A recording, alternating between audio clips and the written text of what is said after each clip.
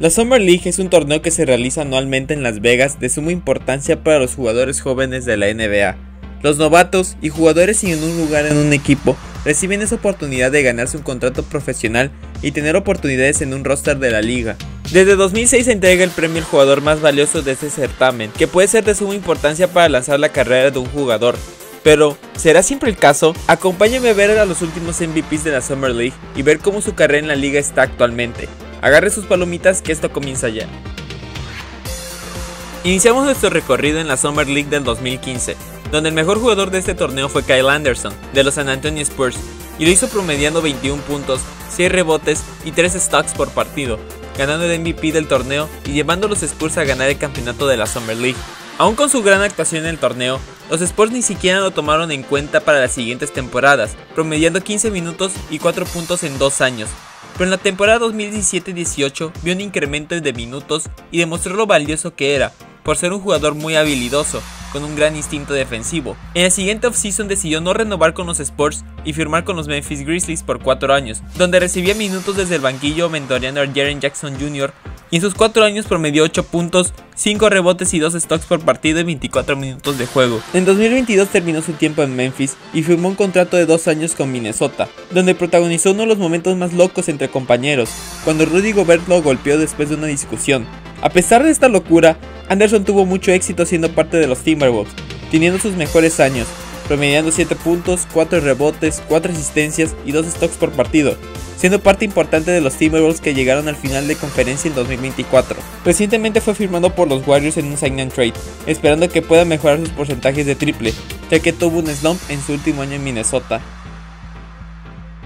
En la Summer League del 2016, el jugador que ganó el MVP del torneo fue el base de Minnesota, Tyus Jones, que, con su habilidad anotadora, junto con su playmaking, promediando 20 puntos y 6 asistencias por partido y llevando a los Timberwolves a la final de la Summer League, lo hicieron merecedor de este premio. Tristemente, al igual que Kyle Anderson, Jones no vio minutos incluso ganando MVP del torneo, siendo suplente ante bases como Jeff Teague y Derrick Rose, promediando 5 puntos y 3 asistencias durante 2017 y 2019. En la offseason del 2019, Tyus firmó con los Memphis Grizzlies, donde brilló en un rol de suplente con Jam Morant, siendo un gran facilitador desde la banca, incluso recibiendo votos al sexto hombre del año 2022 y 2023, donde promedió 8 puntos y 4 asistencias. En 2023 fue parte del famoso traspaso de Kristaps Porzingis a Celtics, siendo traspasado de Memphis a Washington en compensación por Marcus Smart. En los Wizards tuvo su mejor temporada hasta la fecha, siendo el base titular del equipo y brillando en un rol como asistidor, promediando 12 puntos y 7 asistencias por juego, quedando noveno en asistencias por partido. Hace unos días se anunció que firmaba con los Phoenix Suns, que me parece una gran adición debido a la falta de los Suns de un verdadero base armador, y Jones, con su playmaking, entrando a su prime, pienso que será una gran contratación.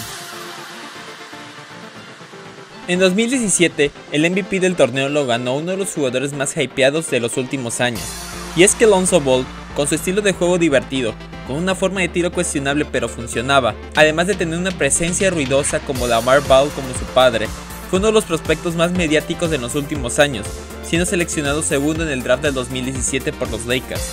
Lonzo era proyectado a ser el sucesor de, ni más ni menos de Magic Johnson, uno de los mejores jugadores de la historia, y en la Summer League demostró que podía llegar a esa comparación. Ball promedió 16 puntos, 7 rebotes, 9 asistencias y 3.5 stocks por partido, aunque eso sí, tirando espantoso de 3, siendo el líder de los Lakers, que después sería reconocido como el mejor equipo de la Summer League en la historia por su cantidad de grandes jugadores que terminaron siendo campeones del torneo. Lonzo tristemente no tuvo una oportunidad justa en Los Ángeles, ya que su segunda temporada llegó LeBron James al equipo y él quería ganar, por lo que, después de una temporada donde los Lakers no entraron a postemporada, el equipo movió todo el joven talento a los Pelicans por Anthony Davis. En Nueva Orleans, alejado de todos los reflectores de Los Ángeles, Lonzo empezó a mejorar paulatinamente, promediando 13 puntos, 5 rebotes, 6 asistencias y 2 stocks por partido, y mejorando su tiro y porcentaje de 3, que era tan ridiculizado en Los Ángeles. En la offseason de 2021 firmó un contrato por 4 años con los Chicago Bulls. Los Bulls añadieron igual a DeMar DeRozan, Alex Caruso, junto con los All-Stars Zach Lavin y Nikola Vucevic, los Bulls estaban listos para competir por un campeonato, llegando incluso a estar primeros en todo el este en enero del 2022, con un récord de 27 a 13. Pero todo cambió con la lesión de Lonzo Ball, que sufrió una rotura de meniscos. Después de una cirugía inicial en enero del 2022, Ball se perdió el resto de la temporada 2021-2022. A pesar de la rehabilitación, continuó experimentando molestias, lo que lo llevó a una segunda cirugía artroscópica en septiembre. Ball se perdió las últimas dos temporadas debido a problemas en su rodilla, apenas fijando su regreso a entrenamientos completos en agosto, siendo devastador ver cómo una de las jóvenes promesas de la liga desapareció por cosas fuera de su alcance. Se espera que regrese la próxima temporada, aunque no ha dado fecha fija de su regreso, por lo que queda esperar. En 2019, curiosamente, otro Laker seleccionado en la primera ronda del draft del 2017 fue MVP del torneo, y esta vez hablo de Josh Hart, que en la Summer League del 2018 promedió 22 puntos, 5 rebotes y 1.5 robos por partido, en unos Lakers que igual llegaron a la final, pero perdieron contra los Portland Trail Blazers. Josh Hart siguió en su mismo rol en los Lakers hasta que igual fue parte del traspaso de Anthony Davis a Los Ángeles, donde Hart recibiría una nueva identidad como un guardia reboteador, duplicando sus promedios de 3.7 a 6.5 rebotes en su primer año en el equipo. Hart promedió 10 puntos, 7 rebotes y 2 asistencias en su tiempo en Nueva Orleans, hasta que en 2022 fue enviado a Portland por CJ McCollum, donde apenas estuvo una temporada hasta ser traspasado a New York. En los Knicks, la reputación de Hart cambió, siendo uno de los jugadores más queridos en el equipo neoyorquino por su garra y entrega que da en todos los partidos del equipo. En esta última temporada estuvo en los más altos en minutos, recibiendo votos a los equipos defensivos y mejorando sus números en playoffs, que pasaron de ser de 9 puntos, 8 rebotes y 4 asistencias a 14 puntos, 11 rebotes y 4 asistencias hasta que se lesionó en el juego 7 de las semifinales de conferencia. Ahora inicia esta extensión de 4 años por 84 millones con los Knicks, siendo una pieza importante para un equipo que está listo para competir por un campeonato de la NBA. En 2019, el MVP de la Summer League fue el ala novato de Memphis, Brandon Clark, que hizo una participación dominante en el torneo, promediando 15 puntos, 10 rebotes y 2 tapones por encuentro, llevando a los Grizzlies al campeonato donde igual fue nombrado MVP de la final con 15 puntos, 16 rebotes, 4 asistencias y 4 stocks en el encuentro. Clark mantuvo su buena racha durante su temporada de novato, promediando 12 puntos y 6 rebotes por partido, siendo parte del mejor quinteto de novatos, quedando cuarto en la votación por el novato del año. En toda su carrera, Clark siempre ha sido un jugador que da energía desde la banca, alguien que, a pesar de su corta altura, ha sido un buen reboteador y finalizador.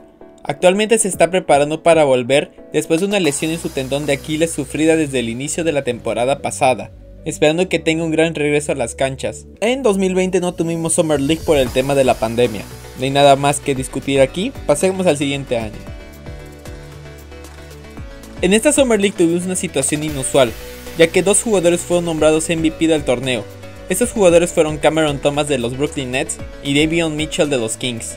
Hablemos primero de Cameron Thomas, ya que Después de promediar 27 puntos para los Nets, siendo el mejor anotador del torneo y alcanzando las semifinales, fue acreedor a este premio.